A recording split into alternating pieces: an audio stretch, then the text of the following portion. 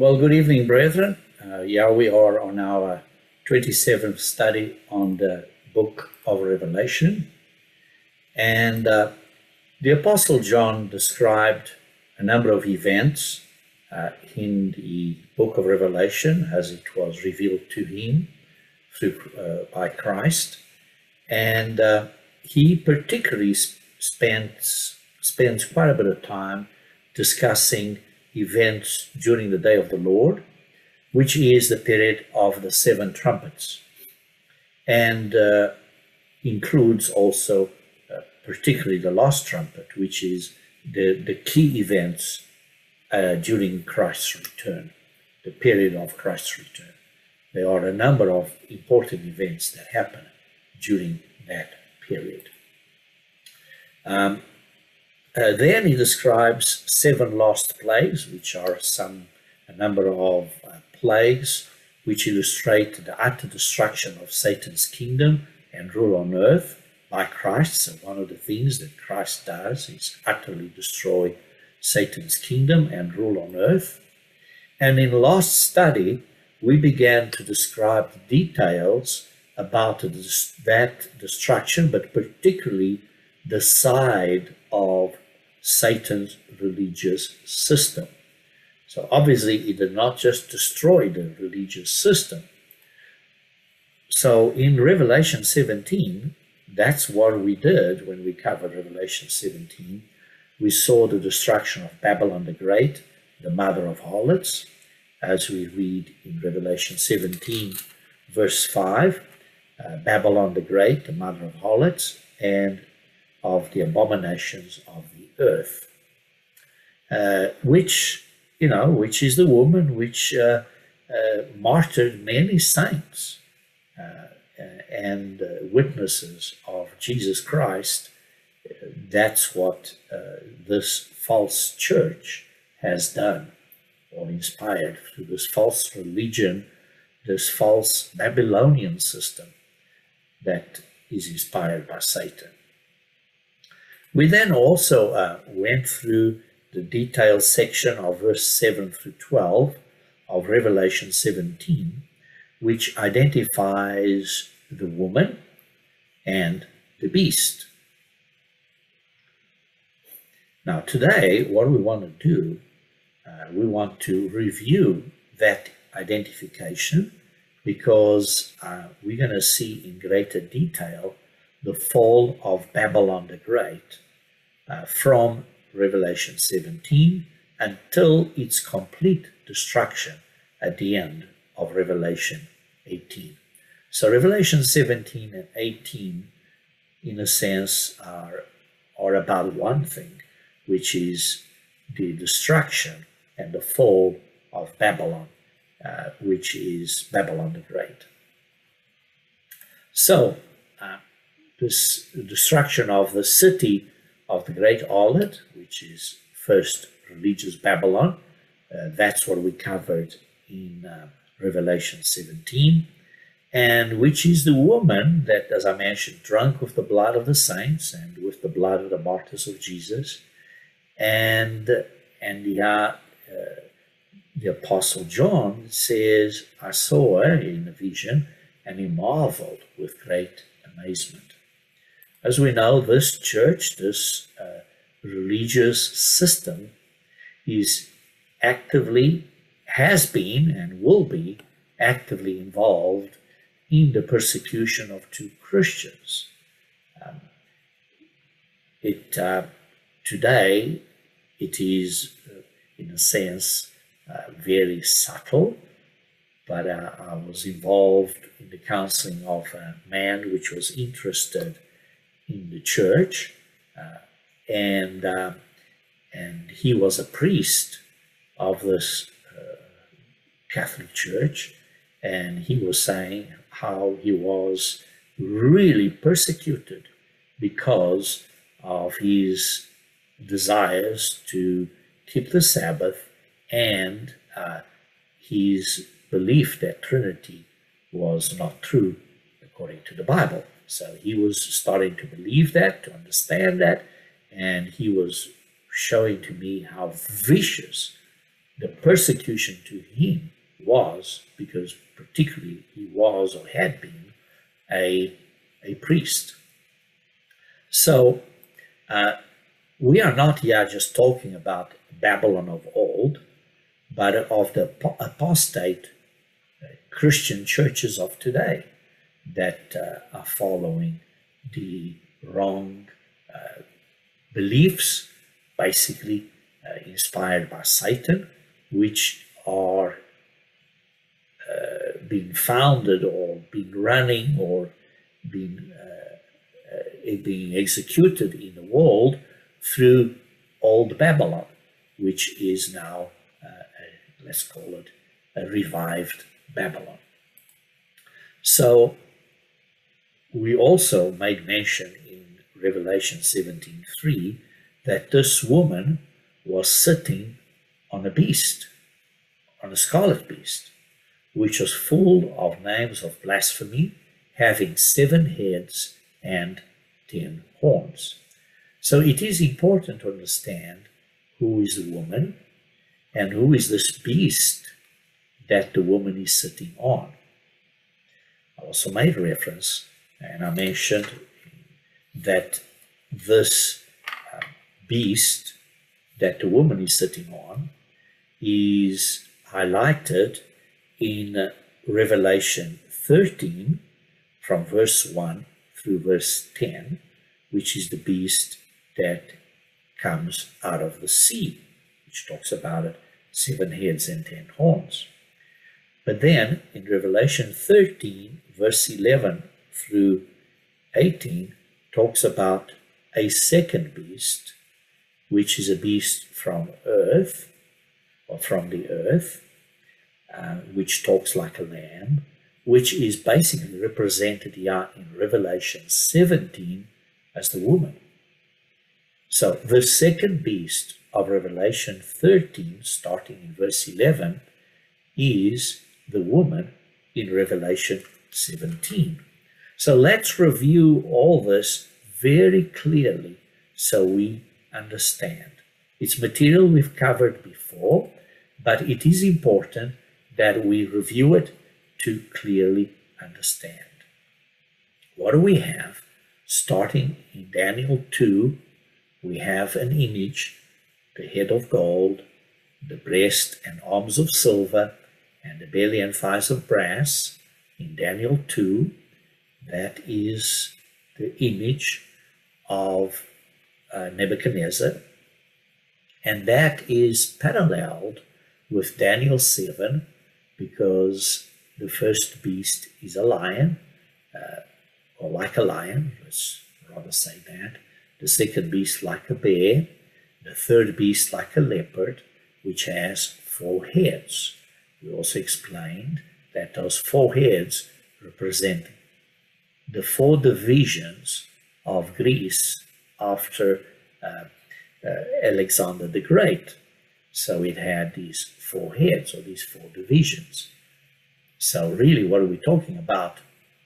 In total number of heads, we see uh, this first beast, one head, prophetic Babylon, because this is Babylon.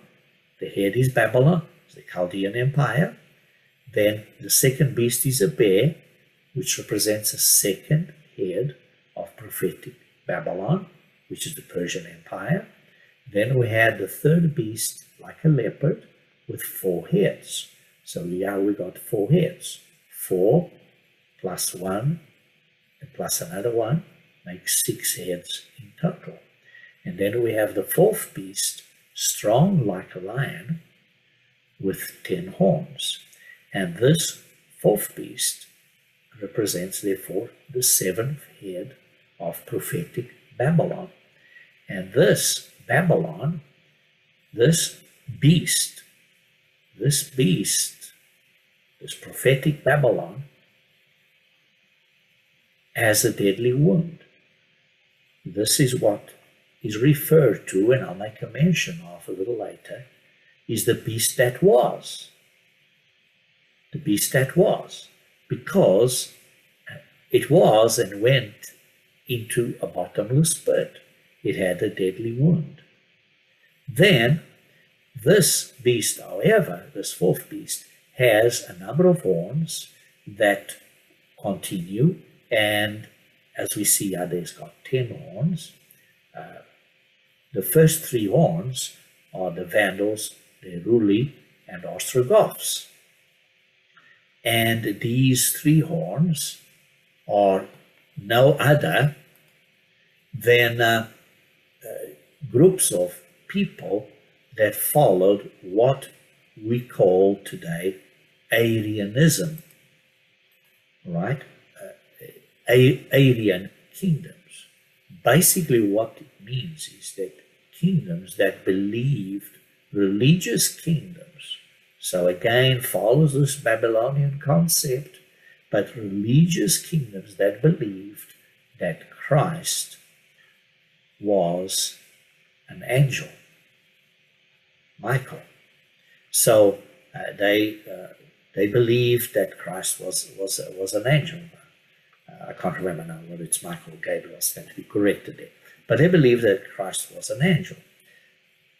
Then there was another horn that came up that spoke, a little horn among those ten in Daniel 7. It's a two horned lamb dragon in uh, uh, Daniel, I beg pardon, in uh, Revelation uh, 13. In Revelation 13, it's this two horned lamb, uh, lamb dragon image. So it's the second beast of Revelation 13. As I mentioned, starts from 11 through 18. That is equated to the scarlet woman of Revelation 17 that rode the beast. Right? So this represents false Christianity, which has an image of the Roman Empire the image of the beast, because the beast is the Roman Empire. So, what we have is uh, an important analogy by looking at these charts. So, let me go back. When we look at these charts, it is important that we understand that they all are telling a story and with time is creating an additional layer or depth of understanding to the original uh, revelation, which is the image of Nebuchadnezzar in Daniel 2. So all of these are just adding extra details to that. So what do we have here is a couple of interesting things the first place. The Bible talks about 1260, right? So the persecution of the church for 1260 years started in AD 325 for 1260 years till 1585, which was the uh, basically the Protestant Reformation and that period when uh, religion started being not so controlled or dominated by the Catholic Church, right? Um, then there is another side of the 1260 years, which is civil, which started in AD 454 when there was the, the civil governments that came along, which we'll look at in a moment. So, this is important to understand that Daniel 2 forms the basis. Daniel 2 says that the head, you are king, you are the king of kings. And the God of heaven has given you a kingdom with power, strength, and glory. And wherever the children of men dwell, or the beasts of the field, and the birds of the heaven, he has given them into your hand. He has made you ruler over them all. You are this head of gold. So, this Babylonian Empire the Chaldean Empire, is the head, and from it flows the rest of the body. You see, this is a very important key because if we want to follow prophecy all the way till the ten toes, they are part of this statue. So it has be has to be part of a continuity that has occurred. So this is important to understand. Some people don't understand prophecy because they don't see this continuity of this image all the way from head to toe. That is an important clue to understand it. So, Babylon represents the head. This is the political, financial, and religious system which basically continues today to this modern day. And therefore, it has a lasting impact like gold. So, it is a system. Okay, it's technology is modernized, but this, the concept is basically the same. And then it says, uh, mentions, uh, and we'll come to this later on in Revelation 18, that talks about this mighty city. Over it, the merchants of the earth will weep and mourn. And they've done businesses even in souls of men. So this system has basically migrated or evolved from kingdom to kingdom, from Babylon itself to the Medes and Persians to uh, like to Greece to Rome but it's the same system.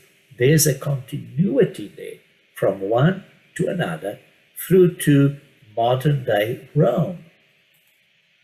So the spirit of this system has been the fuel for European growth over the centuries.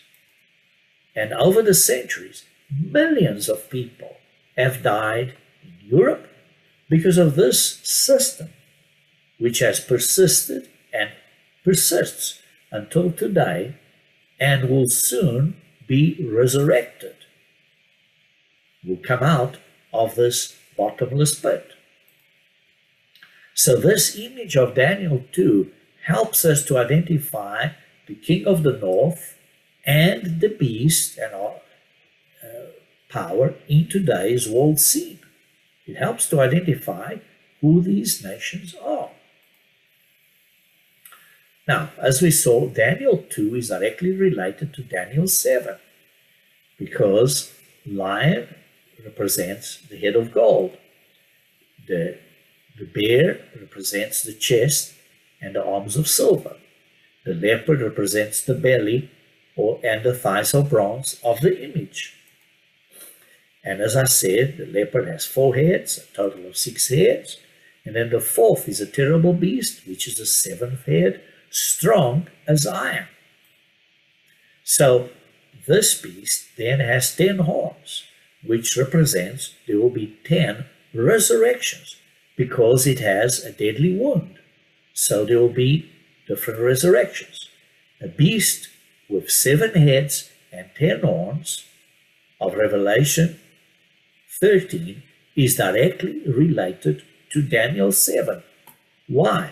because the seven heads are these seven heads, and the ten horns are these ten horns that continue down here. So Revelation 13 and Revelation 7 are directly related. Okay, this beast suffered a mortal wound. Revelation 13:3. Right? And represents the fall of the Roman Empire in 476 AD, specifically the western part of the empire. Why? Because the eastern part continued. So it did not have the deadly wound.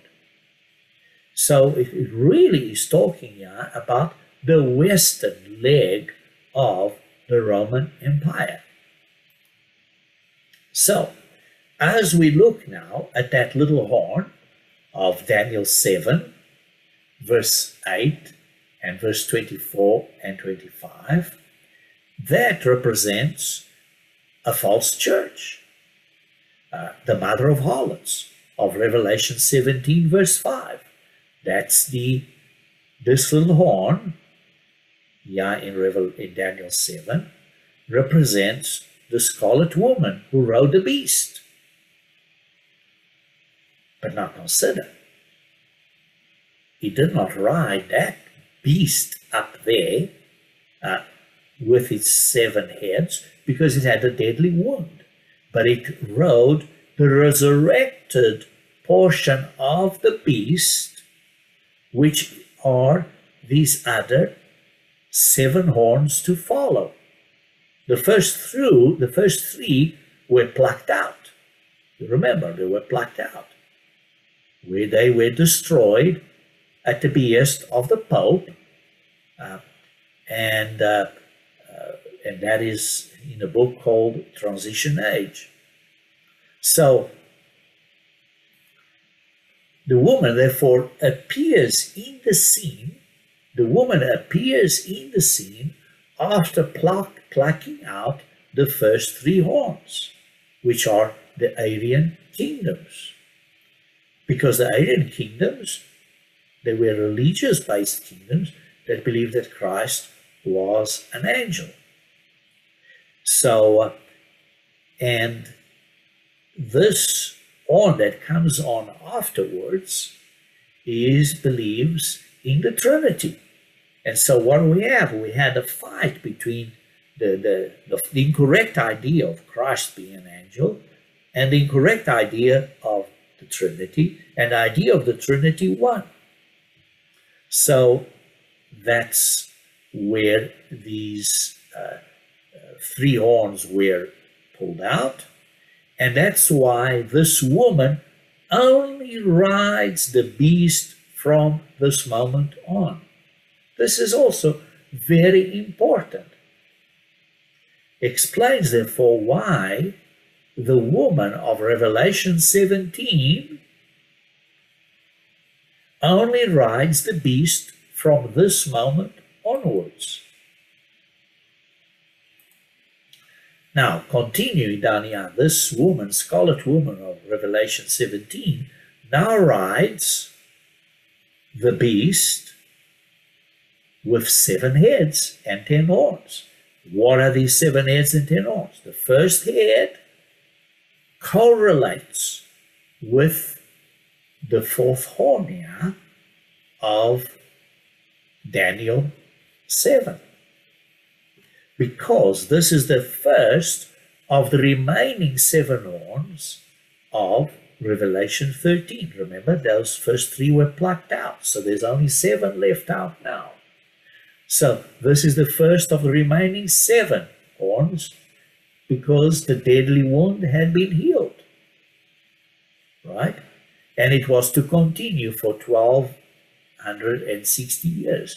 This is the 1260 years of this civil government from 554 till uh, uh, 1814. 100 to 1260 years exactly.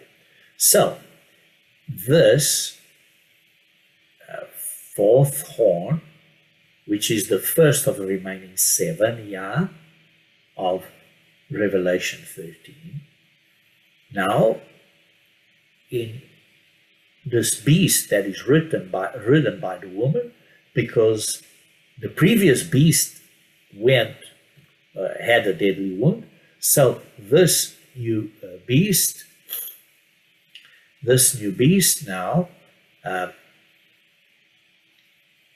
has these seven heads, which correlate with the remaining seven horns.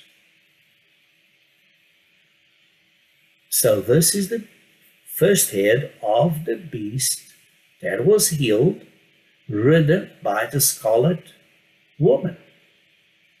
And that is what's called the imperial restoration of the empire by Justinian, which started in 554. He recognized the supremacy of the Pope, submitted, it submitted to him. Again, this is the western part of the Roman Empire. Then, so the Catholic Church, this church, this woman only rode the western leg of this empire. It never rode the eastern leg.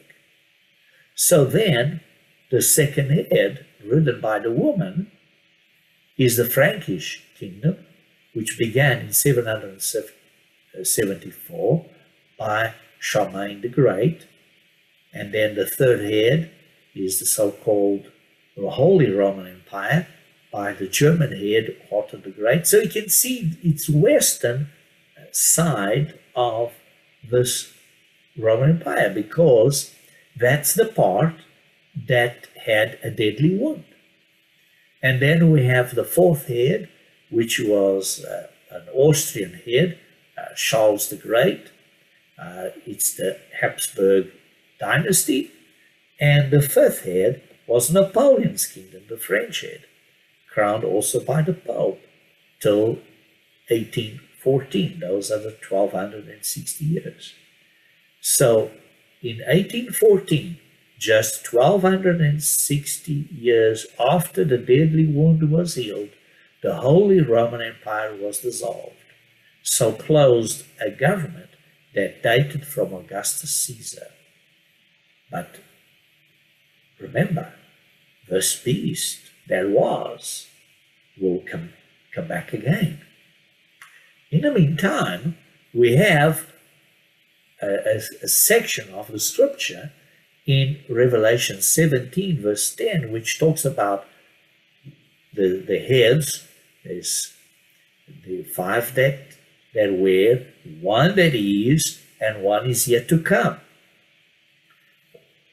One that is, obviously, it clearly means that is for a specific time, because the, this also means that these five that were, one at ease and another is yet to come. It means they're not contemporary. It means they, they don't happen at the same time. It means one happens, then the other one happens, then the other one happens, and so on. They're not contemporary. And, and that's important to understand because some people think, oh, well, they're contemporary. No, they're not. So that shows one is yet to come, and that one yet to come, when is this dated? It's dated, and that's why I have the little asterisk here, the little asterisk there, is dated when this scripture was understood during the period around about the end of the Second World War, which was understood by Mr. Armstrong. At that time, then that was exactly when it was understood, and that uh, related to uh, Italy and Germany and uh, and uh, Mussolini and all that sort of time frame of the Second World War and uh, and that, that period. Then one is yet to come, which is still future. We haven't seen this. This is what is to come, is the seventh head and ten horns of Revelation 17, all right, which is this beast that ascends out of the pit. Why? Because this beast had a deadly wound, which is the one all the way up there, which was the, the time of the Roman Empire. And that's why then we have represents here the ten toes, which is this one yet to come, which correlates with these ten horns of Revelation 17. Now understand this represents uh, the western leg of the Roman Empire, but the statue does have two legs. Yes, because the western leg of the Roman Empire does have what we call today Western Europe and Eastern Europe. And a lot of what we call today Eastern Europe uh, was and is under the influence of this woman, the Catholic Church. So that explains the importance of building everything up from Daniel 2 with Daniel 7 with Revelation 13 and 17, putting it all together, because then we start understanding who this beast is that the Scarlet Woman rode. So we, we covered this a little earlier. Uh, we went through that. So to continue that in Revelation 17, verse 7, and this again is a formal review of what we covered uh, in the previous lesson, but I believed I needed to go through it again to actually put the jigsaw puzzle very clearly. In, in verse 7, it says, Well, let me tell you the ministry of the woman and of the beast that carries her. Well, the beast that you saw was and is not, and will ascend out of the bottomless pit. So it is a beast that came from the Roman Empire that is not, but the woman is riding it. Uh, but that beast out of the Roman Empire will ascend out of the bottomless pit. Also, it talks in Revelation 17, verse 9, and it says, uh, Yah is a bit of the mind, that it says, uh, they are seven mountains. A mountain is an analogy to governments. So it's seven governments, seven heads there of governments. Five have fallen, one is, and the other is yet to come. I showed you that in the graph a little moment ago. Again, as I said, this proves they're not contemporary. The one that has not yet come only lasts for a short period of time. And then I went through in a lot more detail in Bible study number 22. So if you want to go back to it and review it, you're welcome. Then in verse 11 says, The beast that was and is not, he is himself also the eighth, and is of the seven, and is going to perdition. What do you mean by that? He's of these seven that the woman rides, but is the one that will ascend out of the bottomless pit, which is the basic old Roman Empire. And so, this final uh, resurrection, it'll be far more vicious because it will have that Roman Empire characteristics. And so, is also the eighth, and is of the seven, and is going to perdition. Because when Christ comes, it will destroy it completely. And that's a little bit more of what we're going to see today. However, in verse 12, it says, The ten horns which you saw are ten kings who have received no kingdom as yet. Right? But they receive authority for one hour as kings with the beast. So these ten horns are contemporary. That's the ten, the revival of ten nations, probably five from Western Europe, five from Eastern Europe, representing the two legs. But that is, as I mentioned, part of the western side of the Roman Empire, not the eastern side of Constantinople. So these ten horns, which is the last uh, uh, revival of ten nations, European nations, as I mentioned, probably five from Western Europe, Catholic, or under this religious system which comes from Babylon, and five from Eastern Europe, as I said, probably also with a Catholic background, and therefore they are ridden by the Scarlet Woman, the mother of harlots. Right, so that's what we see it. That's the one yet to come. This revived Roman Empire by 10 dictators, and they hand the power over to this leader. Let's call it a, another person. So it's 10 nations that hand their power over to the beast that is the, the leader. So, in fact, what do we have? We have the leader of the state, which is the beast, and the leader of this religious organization, which is the false prophet. So, this religious organization is a church organization which represents yeah, in Revelation 13, the second beast of Revelation 13, but it has a leader, which is the false prophet. And then the first portion of Revelation 13, from verse 1 to verse 10, is the civil beast, which as a leader, a leader, which will be called the beast. This leader will be given its power by these 10 dictators, these 10 nations.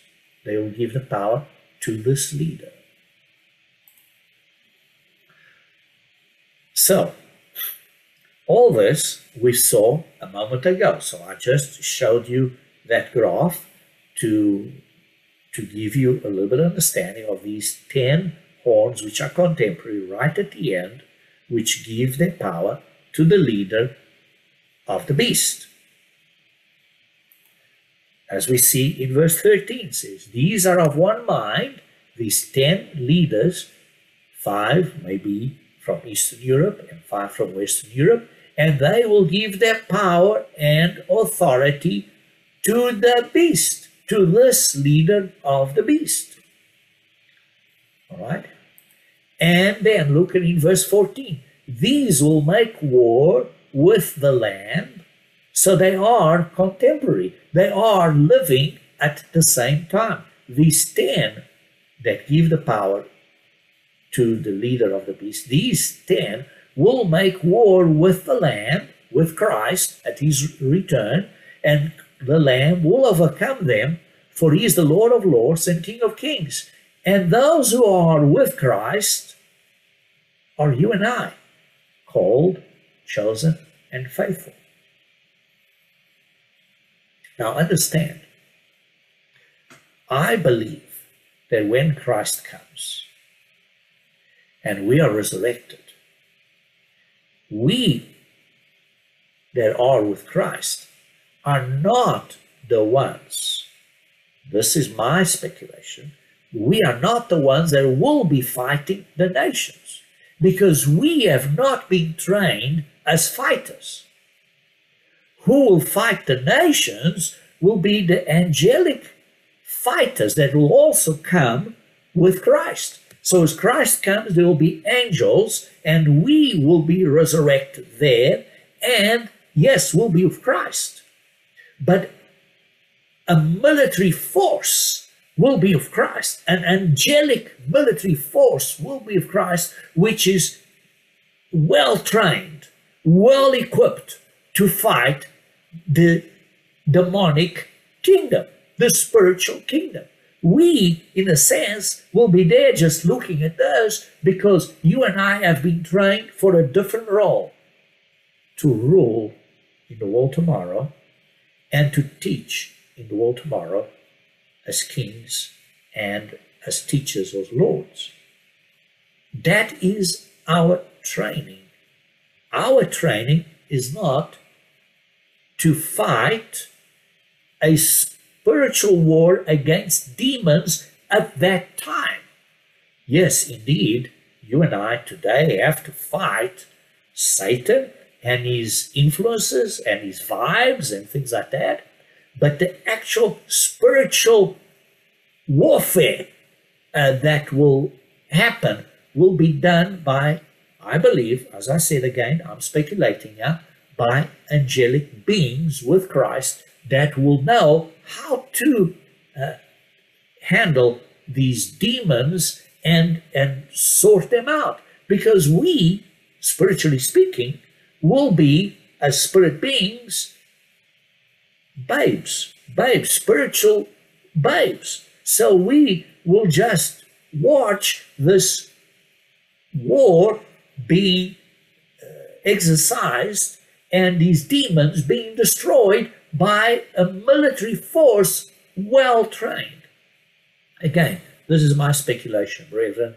So uh, just putting that into a bit of a picture. But now we get to Revelation 18. Having covered uh, a very in depth revision of what we covered in weeks previously, and I believe that was important. And I apologize that I reviewed it again, but I believed it was important to put it all together so that the whole jig puzzle fits. And then what do we have, as we saw in Revelation 17, uh, right at the end of uh, Revelation 17, uh, and we covered that uh, the previous sermon. It says here uh, in Revelation, uh, Revelation 17, in verse 16, Revelation 17, verse 16, it says, and the ten horns which you saw on the beast. That is, those ten nations, uh, five European, uh, Eastern European, five Western European, these ten horns which you saw on the beast.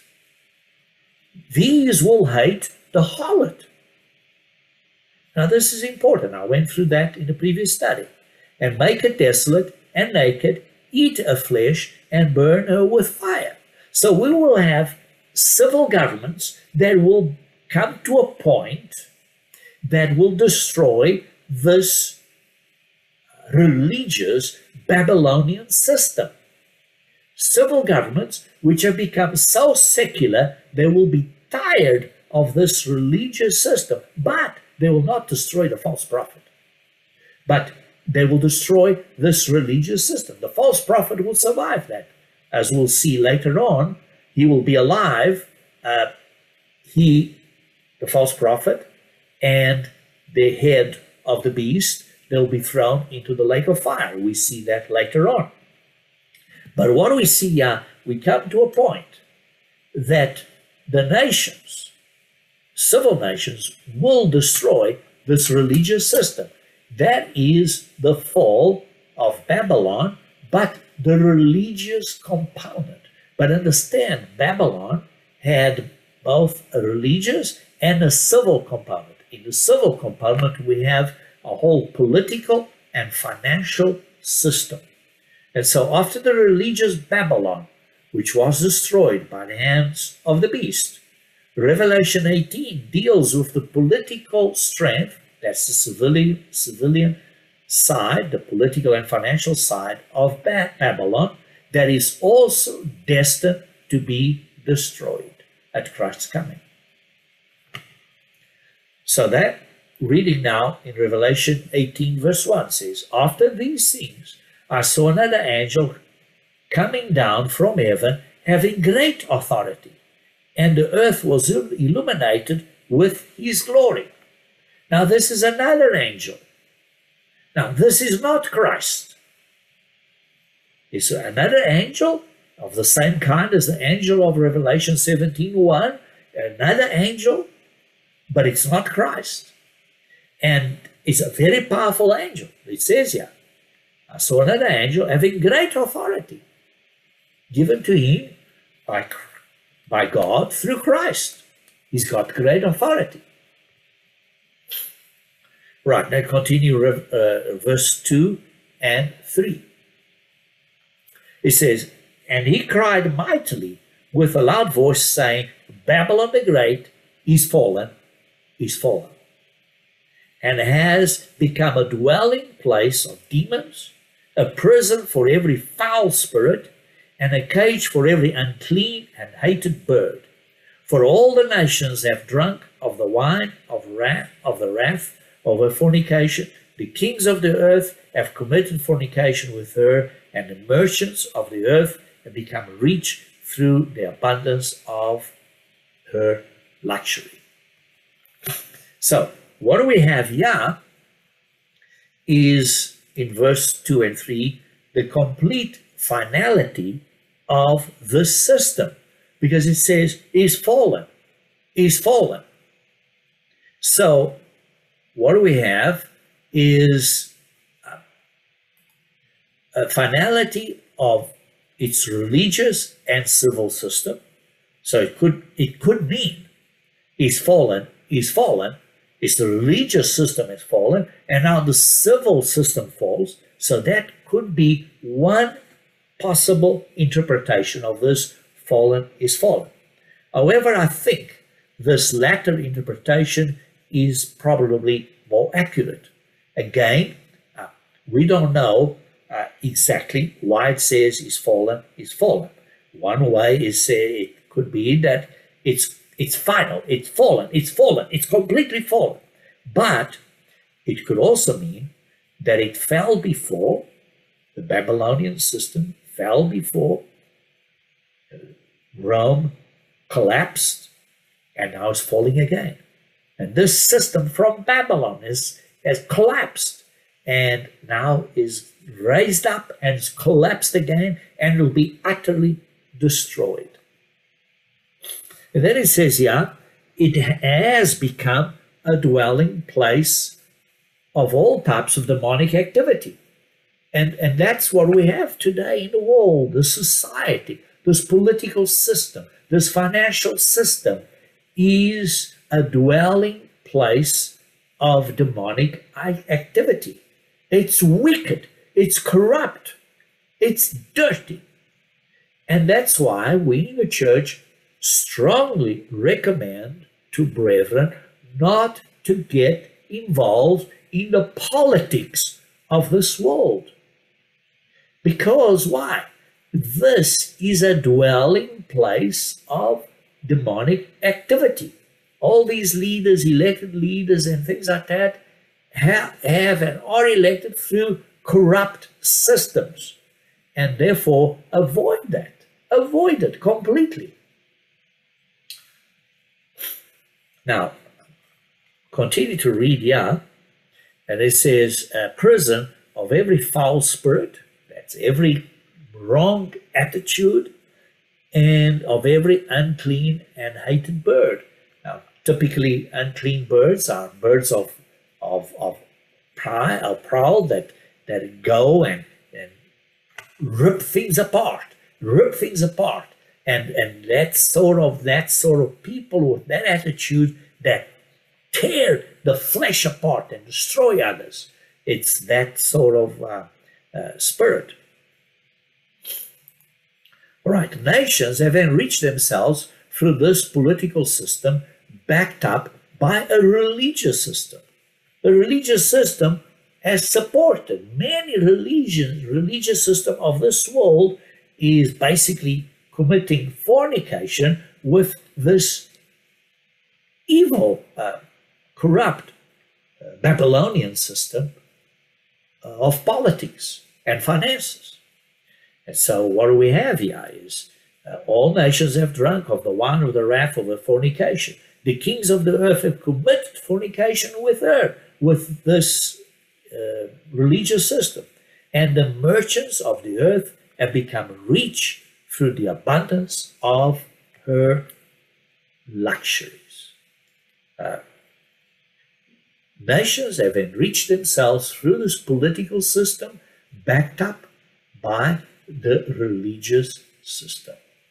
And it's going to come back even greater, even more. It's going to resurrect itself. How? Because it says you're going to be, wonder how does this come up? How does it come up? Maybe through what people are calling it a great reset. It's like a great revival or of this beast coming out of the bottomless pit. A great reset of capitalism, of so called building back better. You're going to hear this term pretty frequently building back better. And uh, it's building back better for themselves, I guess. But that's that is to me, I stand to be corrected, but uh, to me is this resurrection of this out of the bottomless pit of this system that is corrupt. And so he continues in verse 4. And I heard another voice from heaven saying, Come out of her, my people, lest you share in her sins, and lest you receive of her plagues. Get out of this Babylonian system. For her sins have reached to heaven, and God has remembered her iniquities. You, you, you read scriptures like in Jeremiah uh, chapter 50, uh, Jeremiah 51. Let's just look at them very quickly. Jeremiah chapter 50. Jeremiah chapter 50, verse 8.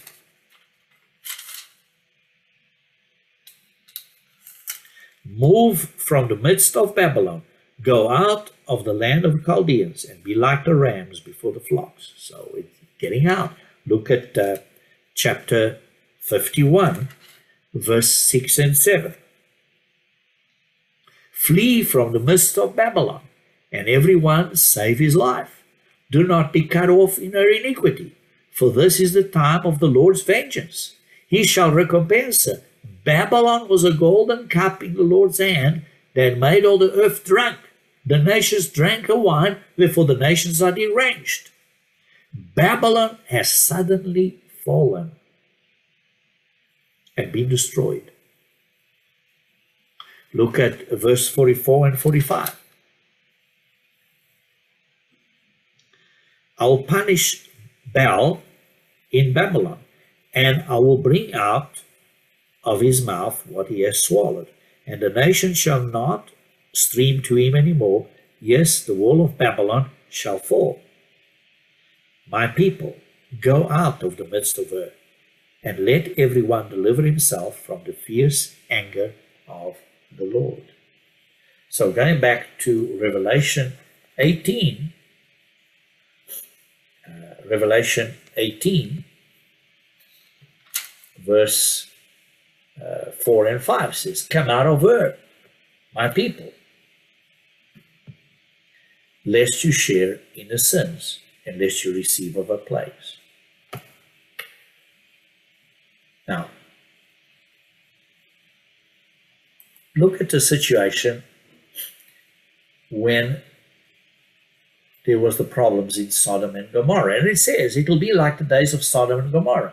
And brethren, it is. It is great wickedness and filth and sodomy and ideas today in the world that basically are those of Sodom and Gomorrah. The whole world is going like that. It says, like in the days of Sodom and Gomorrah. And you know the story of Lot and Lot's wife, how they had to get out and should not look back. We have to get out and not look back. Also, look here in Revelation 18, verse 5. In Revelation 18, verse 5, says, Her sins have reached to heaven. Right? Revelation uh, 18, verse 5. Um, now, the interesting uh, comment here, uh, in some translations, it puts it have been heaped up. Um, and uh, but the interesting here is the Greek word is Greek word have reached is Greek word 2853 kollao, uh, which is glued like cement to bricks. And you look at the story of Genesis 11, of building the Tower of Babel, where they learned how to use cement, and I went through that uh, before, and and these sins have built up like this all the way up to heaven. It says have reached to heaven, in similar to the concept of the Tower of Babel, and uh, and getting up uh, uh to uh, all the way up to heaven. So there is an analogy there in a way, uh, symbolic there. And then uh, let's read verse 6 through 8. render to her just as she rendered to you, and repay a double according to her works. In the cup which she is mixed, mix double for her. In the measure that she refine herself and live lux- luxuriously, in the same measure give her torment and sorrow. For she says in her heart, I sit as a queen, and I am no widow, and will not see sorrow. Therefore, her plagues will come in one day. Death and mourning and famine, and she will be utterly burnt with fire, for strong is the Lord God who judges her. And so what do we have here is retribu- retribution. Her power does not compare with God's power. The power of this, uh, let's call it, uh, system, political and financial system of the beast and of these ten kings is not going to be compared with God's power. It's just not going to be compared. And they will be retributed. They will be punished. And look in verse 8 says, in one day. In one day. Now, if you look with me to Daniel 5, Daniel 5, let's go to Daniel 5. You know, remember the story of Mene, Mene, Tekel, Upharsin? Let's go into Daniel 5.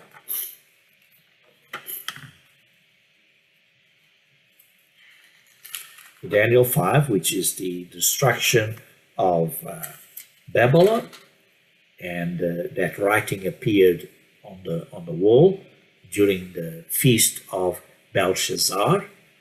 In Daniel 5, verse 1 through 5, it talks about they were having this feast, and uh, and then there were fingers that wrote on the wall, right? And then we read uh, in verse 10 and 11 that the queen remembered Daniel, because remember, this is like the grandson of Nebuchadnezzar, and Daniel had not, over a period of time, they, they kind of pushed him to the side. But then the grandmother remembered, hey, remember, there's Daniel. He knows how to read these things. So call him. Because she says, verse 11, there is a man in your kingdom in whom is the Spirit of the Holy God. And in the days of your father, should be grandfather, uh, correctly uh, translated, uh, the, the word is more ancestor, uh, light, uh, in the, the days of the grandfather, light and understanding and wisdom. Uh, he, he had that, uh, like the wisdom of the gods, were found in him. And King Nebuchadnezzar, your father or grandfather, uh, the, your father, the king, made him chief of the magicians, astrologers, Chaldeans, and soothsayers. So, yeah, is this Daniel is brought in, and then a little bit later in verse uh, 25 through 30, then uh, Daniel says, This is the inscription, Mene, Mene, Tekel, Upharsin, in verse 25. And then he says, Mene, God has numbered your kingdom.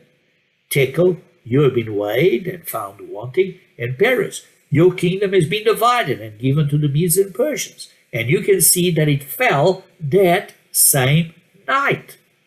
Look at verse 30. That very night, Belshazzar, king of the Chaldeans, was slain. So we have Babylon of old was destroyed in one day.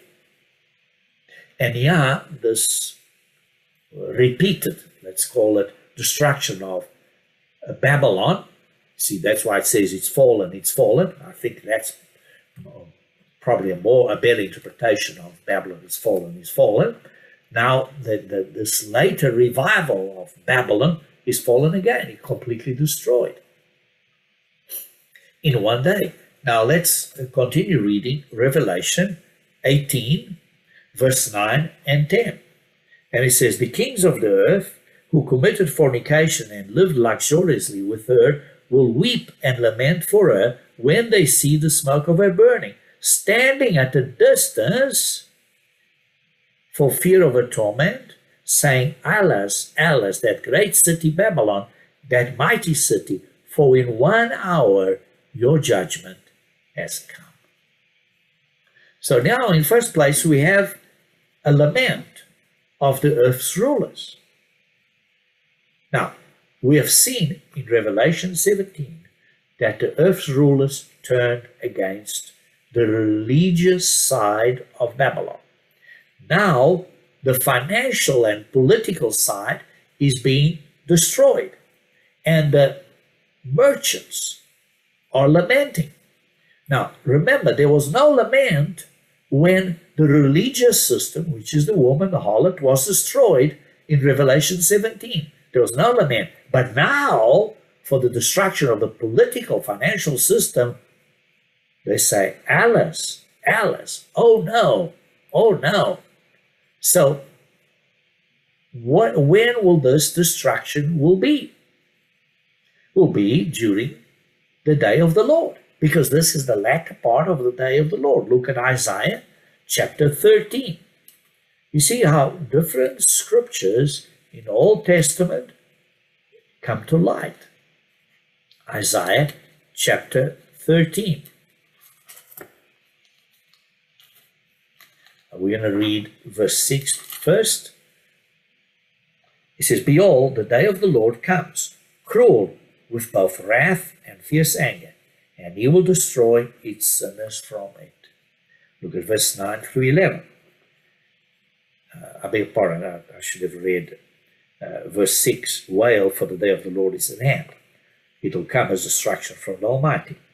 Uh, verse 10 For the stars of heaven and the constellations will not give their light. So that's at the beginning of the day of the Lord. That's the heavenly signs. We went through that. And then verse 11 I'll punish the world for its evil and the wicked for their iniquity. And I'll lay low the haughtiness of the terrible.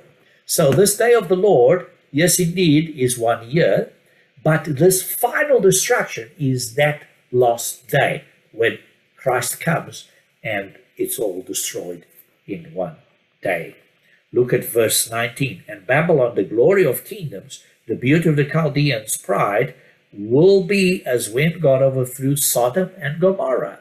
You see, like destroying Sodom and Gomorrah. It will never be inhabited, nor will it be settled from generation to generation, nor will the Arabian pitch tents there, nor will the shepherds make their sheepfolds there, but wild beasts of the desert will lie there, and their houses will be full of owls, ostriches will dwell there, and wild goats will caper there.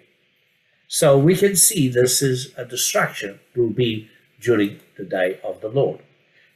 As I also uh, read in uh, verse 11, there says, And the merchants of the earth will weep and mourn over her, for no, no one buys or uh, uh, their merchandise anymore.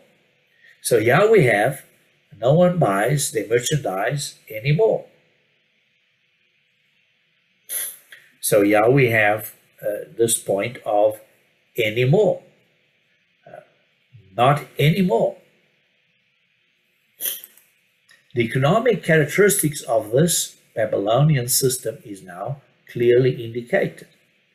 In verse 12 to verse 13, look, the merchandise of gold and silver, precious stones and pearls, fine linen and purple, silk and scarlet, every kind of citron wood, every kind of object of ivory, every kind of object of most precious wood, bronze, iron, and marble, and cinnamon and incense, uh, frank, uh, fragrant oil and frankincense, wine and oil, fine flour and wheat, cattle and sheep, horses and chariots, and bodies and souls of men.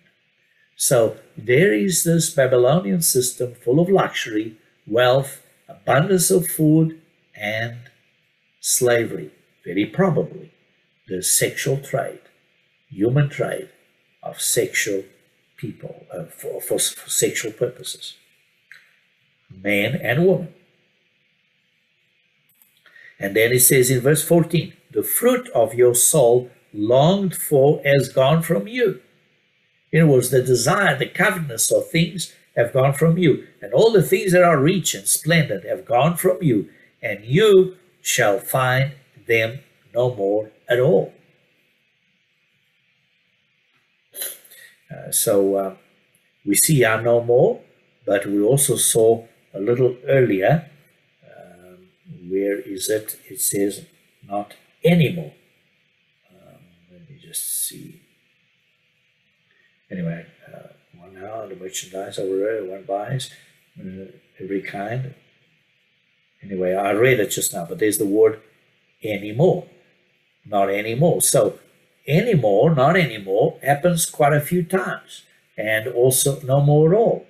Uh, and uh, then we continue uh, in uh, in verse 15 and verse through verse 19.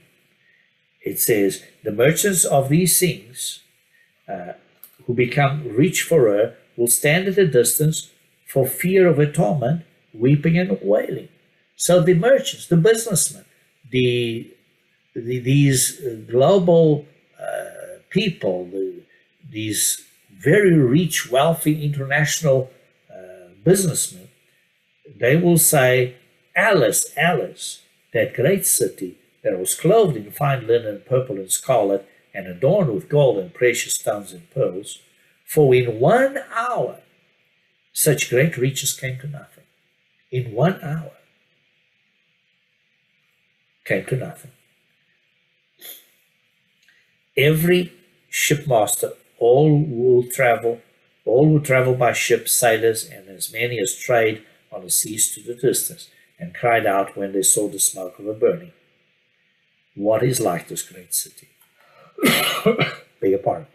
Verse 19 They threw dust on their heads and cried out, weeping and wailing, and saying, Alice, Alice, that great city in which all who had ships on the sea became rich by her wealth, for in one hour she is made desolate. It shows this destruction being very, very quick.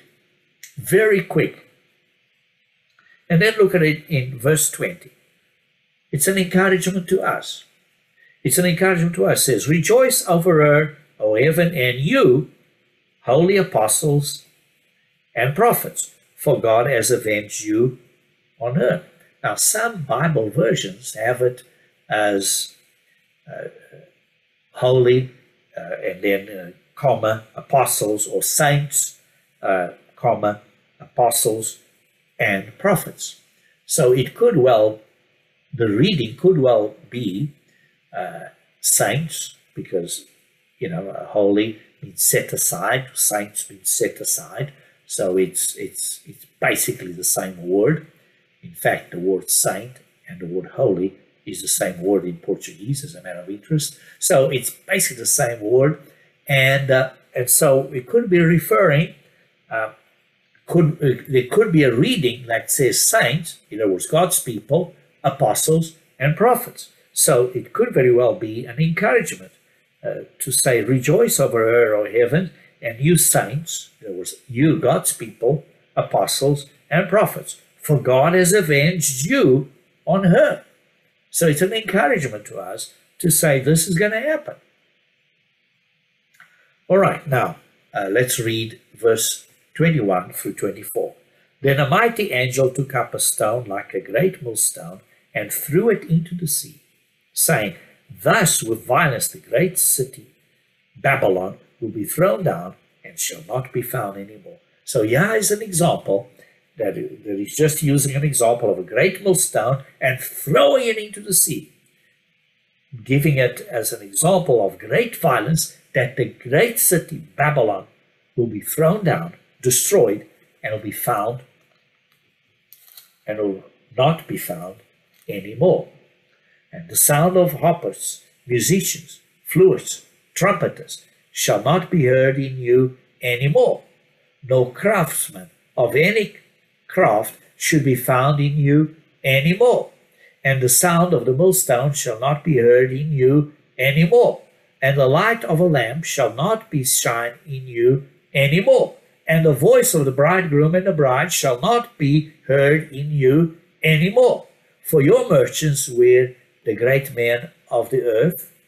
Uh, for by your sorcery all the nations were deceived.